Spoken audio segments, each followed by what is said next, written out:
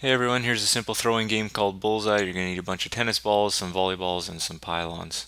So you're going to split the gym into two halves, and you can do this lengthwise or widthwise depending on the space you have. And on each half, you're going to put a team. So we have a blue team and a red team split evenly as you see there. And between each team, you're going to set up some cones or some pylons and put a volleyball on each one of those cones. So those are the targets, those are the bullseyes for the students to throw at.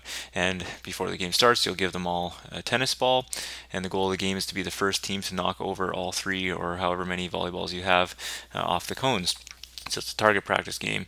So on the signal, they'll start throwing the tennis balls. You're just going to have to remind the students to be careful when they go to retrieve a loose ball to not get hit or not stand right in the middle there while people are throwing.